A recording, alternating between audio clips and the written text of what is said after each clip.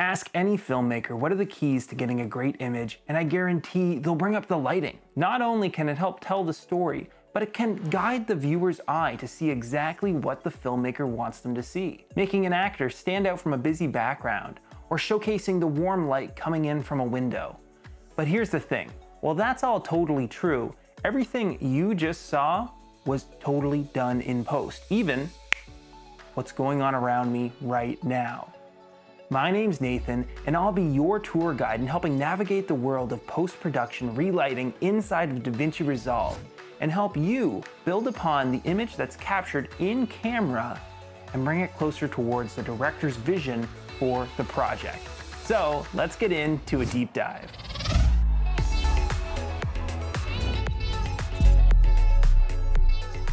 Today we'll be covering three scenarios of relighting with increasing complexity, and we're going to be using shots from red and Blackmagic cameras.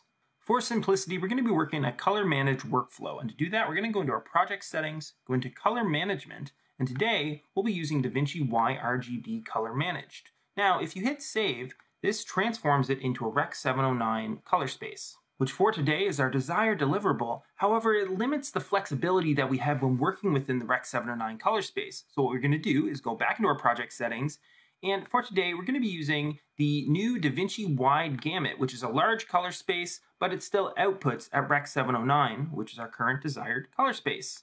And now we can get started. So just looking at this image, for me, two things pop out right away. If we examine our waveform, we can see that it's really bright. And if we take our qualifier tool over top of our skin, we can see that it's definitely overexposed. But thankfully, these cinema cameras have a lot of dynamic range and we're not blowing anything out in our image, which means that we can easily make things darker and get it to a more desirable exposure level. So I'm just going to label this node exposure. The second thing that stands out to me is that she kind of blends into the background, and if we examine our waveform again, you can see that she's definitely brighter than the trees behind her, but it doesn't quite have as much pop as I would like. So I'm going to bring down this exposure a little bit more to get the skin where I want it. And just take down a little bit of that high end for these general exposure adjustments. And we're sitting in a much better place. Now we're going to add a new serial node with Alt S.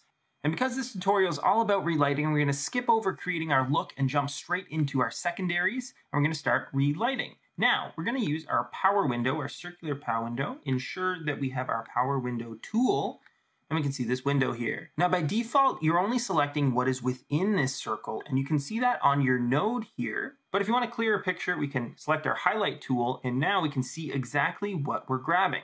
So we really want to focus on her face and a little bit of her body. So we're going to manipulate the power window and grab exactly what we want. Now, if you remember earlier, we set our exposure based off of our skin tone. So if we want her to stand out more, we need her to be brighter than the background. And a way that we can do that is we can invert our power window. Now we're selecting everything outside of this circle. So now what we can do is we can decrease our offset and it makes everything that's outside of this circle darker. Maybe bring down our gamma a little bit. And you can see that she definitely stands out more. We can see the before and after with Control D on our keyboard.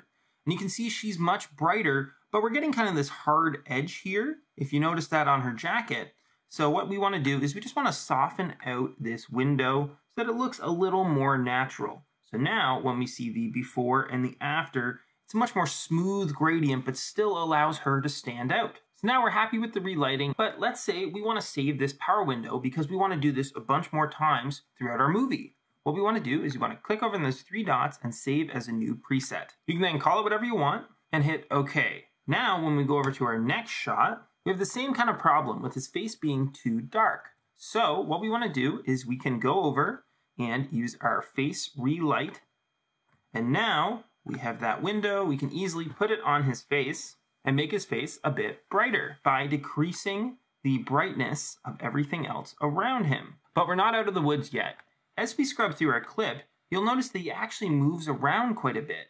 And let's say you want this window to follow him, well, there's an easy way to do that. We're going to go to the beginning of our shot and make sure that our desired window is selected. We're then going to come into our tracker tool and we're to track the entire clip, in this case using Cloud Tracker because I find it just does a great job with these large windows. We can then track forward on the clip and as you can see that spotlight now follows him around and it's locked to his face throughout the entire shot. So now his face is looking great, but I see another problem. I find that this arm is way too hot. It's sticking out just a little bit too much, and as we examine our waveform, you can see the exact same issue. It's much brighter than everything else, and it's a little bit distracting. It really pulls me away from his face. So we're going to create a new node with Alt-S, and we want to make that arm much darker. So what we can do, go into our power windows, and we're going to select our pen tool, and we're just going to draw a simple shape just around his arm. We can use our highlight tool to see the shape that we've drawn. Maybe we want to soften that out a little bit. Now you may think right off the bat, we want to make the arm darker. So to make things generally darker and overall affect the image, we just decrease our offset. And that does work, but it makes these shadows even darker than are on the other side of his body. And that's not necessarily what we want. So we don't just want the entire arm darker, we want these highlights taken care of, these brightest parts of the arm here. So we're going to use our gain controls to just get that a little more under control there. So now it's at a much closer level to the rest of the image and it doesn't stand out quite as much. So now as we see the before and the after, you find that arm is way less distracting. And just like before, we can track it. So we're going to track it to the beginning and now track it to the end of the shot. And now as we look at our shot, you'll see that his face stands out much more and that arm isn't nearly as distracting so we can turn our relighting off and on again and it just helps him stand out a little bit more. So far we've only been using relighting to fix problems with our image. However, you can do a lot more than that. You can use relighting to make creative decisions for your image that maybe you weren't able to do on the day. Now, as we scrub through this shot, you'll notice a few things. First off, our actor doesn't really stand out from the background too much, and it's very busy. We have this pattern on the wall, all these pictures here. It's hard to know what you're looking at. Now, we have a couple things that we can work with.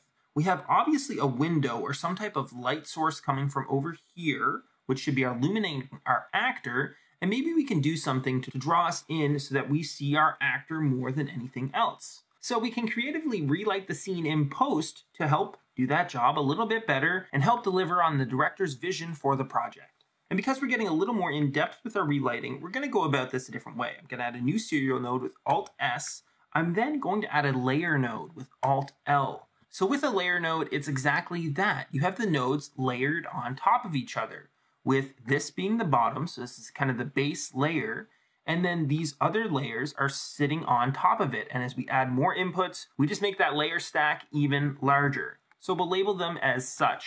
And this first layer is going to be the window. So what we're going to do, we're going to go into our power windows, and this time we're going to use our gradient.